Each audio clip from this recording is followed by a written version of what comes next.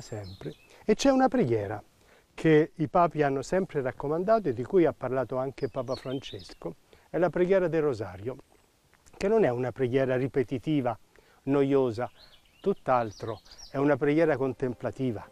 Andiamo proprio a Pompei, perché Pompei è il santuario del rosario.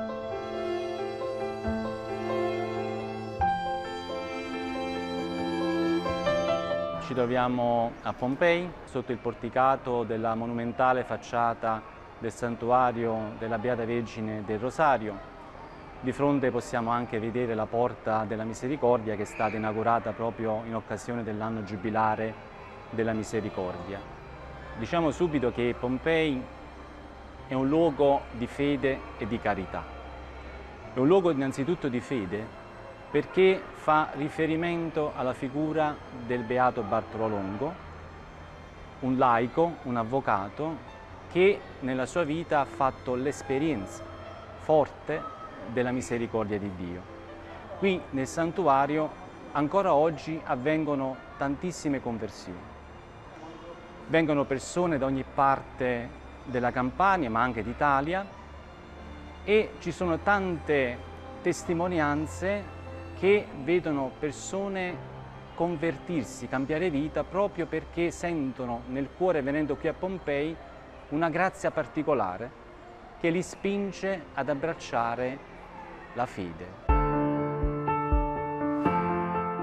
Vivo in questo istituto da ben 13 anni e più, sono entrato da piccolo ho avuto molti problemi già da piccolo, per questo mia mamma, conoscendo un po' la storia di Pompei, la storia del Beato, ci ha indirizzati nell'istituzione del Beato Bartolo Longo e ci ha accolto Fra Filippo. La mia storia è un po' toccante, avevo 15 anni, mia sorella ha avuto una malattia rarissima.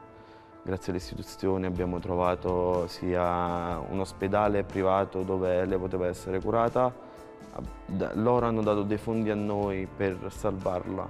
Oltre a questo, nel mio corso della vita sono arrivato in un punto dove sono stato estratto da situazioni non molto belle perché non conoscevo più la mia strada, non conoscevo più il mio essere, ma ogni volta che li rivivo c'è questa voglia, questo male che ti porta a fare cose che non dovresti fare, vedi la Madonna, vedi la fede. Avevo 16-17 anni più su, dove sono stato in un contesto non molto bello. Stavo, ero diventato cattivo perché vedevo che di tutte le cattiverie che, me, che ho subito mi stavano ritrocendo contro. Facendo ciò ero diventato cattivo perché orsù eh, ricevi cattivo e vuoi dare cattivo.